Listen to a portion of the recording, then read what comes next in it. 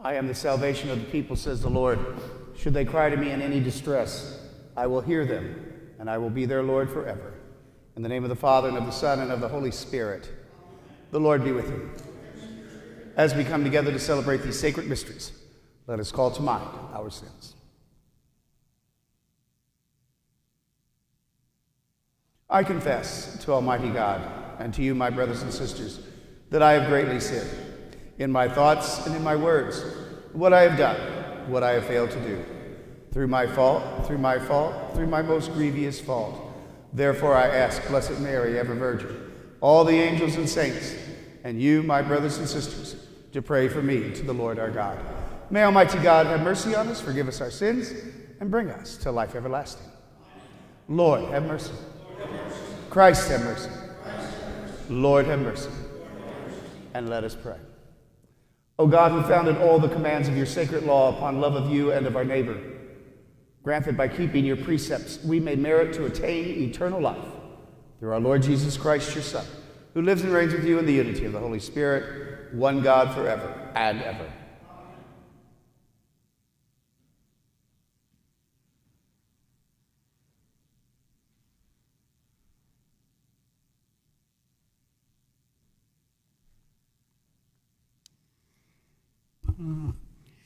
A reading from the book of Ecclesiastes.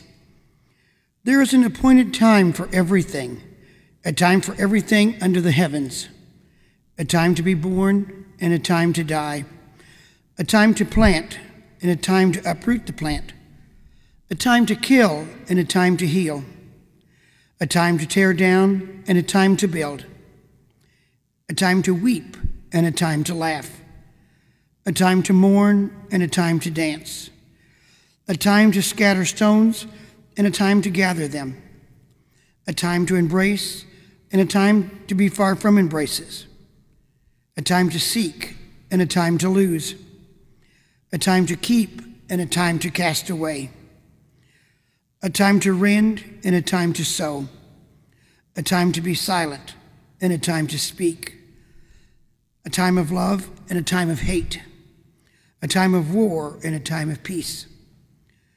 What advantage has the worker from his toil? I have considered the task that God has appointed for the sons of man to be busied about. He has made everything appropriate to its time and has put the timeless into their hearts without man's ever discovering, from the beginning to the end, the work which God has done. The word of the Lord.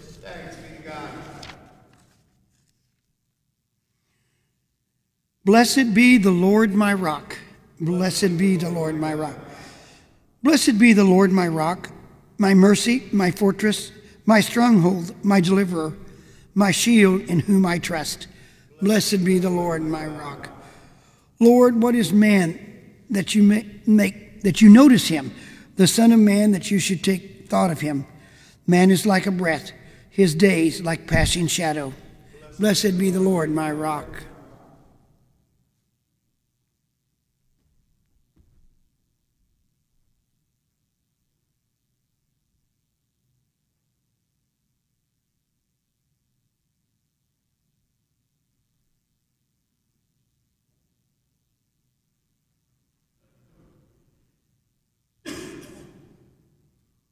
The Lord be with you. A reading from the Holy Gospel according to Luke. Once, when Jesus was praying in solitude and the disciples were with him, he asked them, Who do the crowds say that I am? They said in reply, John the Baptist, others Elijah, still others, one of the ancient prophets has arisen. then he said to them, But who do you say that I am? Peter said in reply, The Christ of God. He rebuked them and directed them not to tell this to anyone. He said, The Son of Man must suffer greatly and be rejected by the elders, the chief priests, and the scribes, and be killed, and on the third day be raised. The Gospel of the Lord. well, good morning. Well, today we have this wonderful reading from Ecclesiastes. And I think what the author of this particular book was trying to tell us is that we can't be the same thing all the time. We can't be always in mourning. We can't be always joyful. We can't always be born. We're not always dying. We're not always scattering. We're not always gathering. Again, we're going to find ourselves in specific places at specific times. And we need to be prepared to react, to act, to be prepared for those moments. Because some of those moments may be the grandest of moments that we've ever experienced in our life. Perhaps the birth of a child, perhaps winning that football game because you kicked the field goal. Perhaps it's the uh, um, uh, getting married or seeing your first grandchild. And then there are times which are absolutely devastating the death of a parent, the death of a loved one, even the death of a dog. It can make us realize that life is short. And I think that's what the author's trying to get across to us is that life is short. We have a very finite amount of time on this world. But we have all been claimed by Christ, and we all proclaim him as the Christ of God, just as Peter did in our, in our readings today. So, no matter what we're going through, whether we're planting or, or, or, or, or, reaping, whether we're gathering or scattering, whether we're being born or, being, or, or dying, we are all Christ. So, whatever we do in that interim period, between mourning and, we, and, and laughing, between joy, and sorrow, life and death, whatever we do in those moments of our lives, whichever way we find ourselves, we should always be centered in Christ, knowing that whatever we do, we do for Him. Whatever we do to the least of our brothers and sisters, we do to Him. Whatever we do for the glory of God, we do for Him.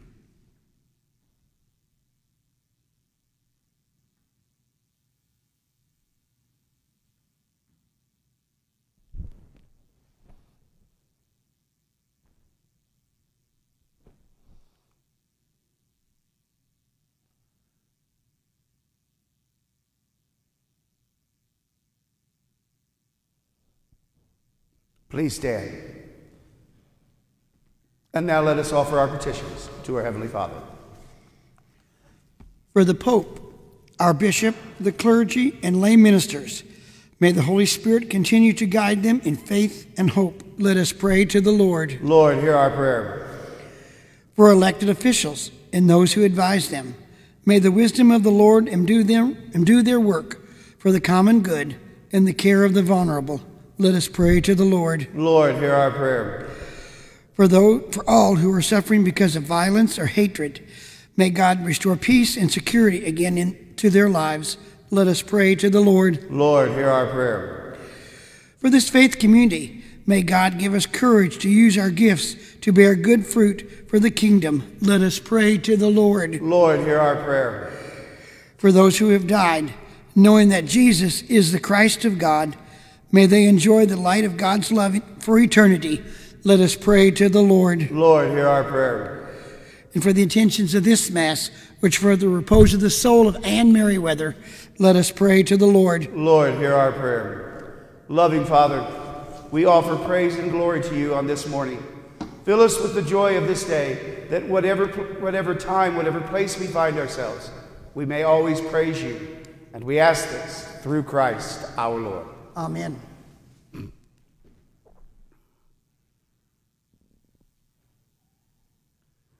Blessed are you, Lord God of all creation, for through your goodness we have received the bread we offer you, fruit of the earth and work of human hands. Become for us the bread of life.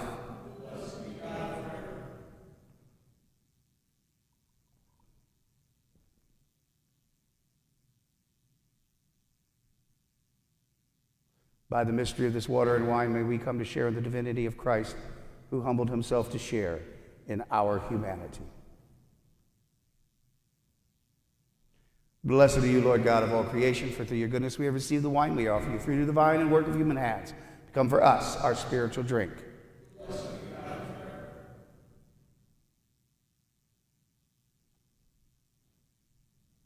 Lord, wash away my iniquity and cleanse me of my sins.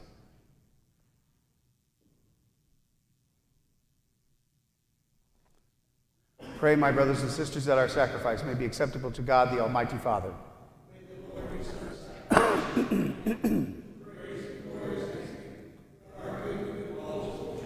Receive with favor, O Lord, we pray, the offerings of your people, that what they profess with devotion and faith may be theirs through these heavenly mysteries, through Christ our Lord.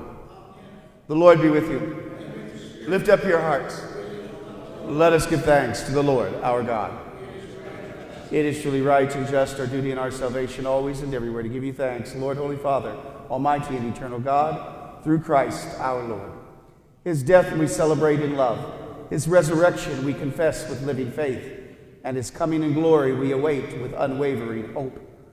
And so, with all the angels and saints, we praise you, as without end we acclaim Holy, holy, holy Lord, God of hosts.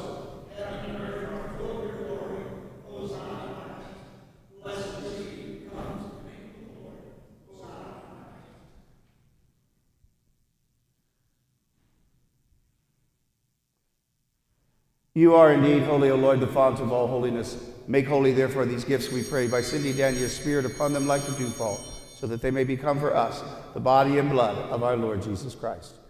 The time he was betrayed and entered willingly into his passion, he took bread and giving thanks, broke it, and gave it to his disciples, saying, Take this, all of you, and eat of it, for this is my body, which will be given up for you.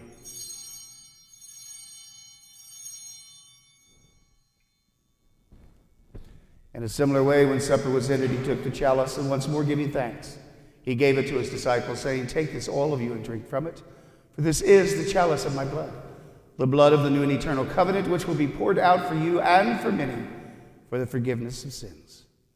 Do this in memory of me.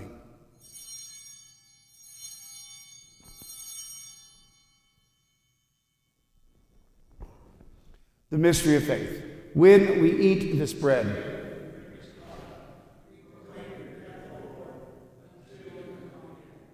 Therefore as, therefore, as we celebrate the memorial of his death and resurrection, we offer you, Lord, the bread of life and the chalice of salvation, giving thanks that you have held us worthy to be in your presence and minister to you. Humbly we pray that partaking of the body and blood of Christ, we may be gathered into one by the Holy Spirit. Remember, Lord, your church spread throughout the world, and bring her to the fullness of charity, together with Francis, our Pope, John, our Bishop, and all the clergy Remember also our brothers and sisters who have fallen asleep in the hope of the resurrection, and all who have died in your mercy. Welcome them into the light of your face. Have mercy on us all, we pray, that with the Blessed Virgin Mary, Mother of God, the Blessed Joseph, her spouse, with the blessed apostles, and with all the saints who have pleased you throughout the ages, we may merit to be co heirs to eternal life. We praise and glorify you through your Son, Jesus Christ. Through him and with him and in him, O God Almighty Father, in the unity of the Holy Spirit, all glory and honor is yours forever and ever. And now, at the Savior's command, informed by divine teaching, we dare to pray. Our Father, who art in heaven, hallowed be thy name. Thy kingdom come, thy will be done, on earth as it is in heaven. Give us this day our daily bread, and forgive us our trespasses, as we forgive those who trespass against us and lead us not into temptation, but deliver us from evil. Deliver us, Lord, we pray, from every evil. Graciously grant peace in our days, and by the help of your mercy, we may be always free from sin and safe from all distress, as we await the blessed hope and the coming of our Savior, Jesus Christ. For the kingdom, Lord Jesus Christ, who said to your apostles, Peace I leave you, my peace I give you. Look not on our sins, but on the faith of your church and graciously grant her peace and unity in accordance with your will, who live and reign forever and ever. The peace of the Lord be with you always. Let us offer each other a sign of peace.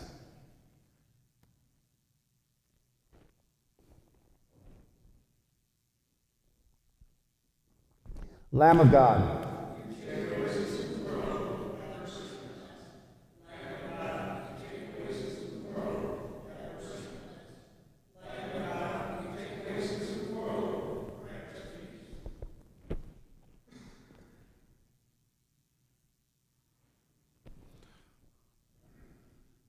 Behold the Lamb of God, behold him who takes away the sins of the world. Blessed are those who are called to the supper of the Lamb. Lord, I am not worthy that you should enter under my roof, but only say the word, and my soul shall be healed.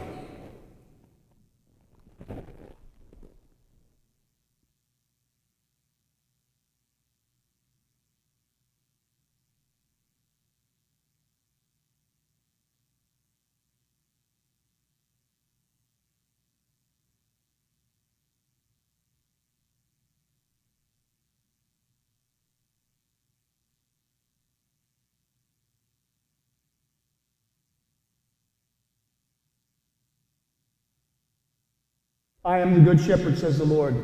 I know my sheep, and mine know me.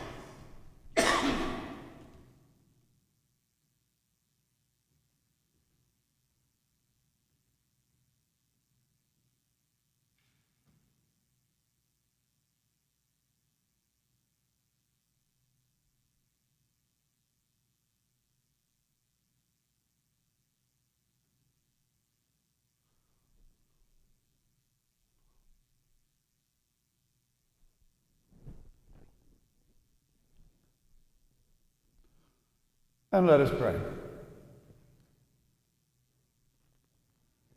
Graciously raise up, O Lord, these you renew with this sacrament, that we come to possess your redemption both in mystery and the ma- manner of our life through Christ our Lord.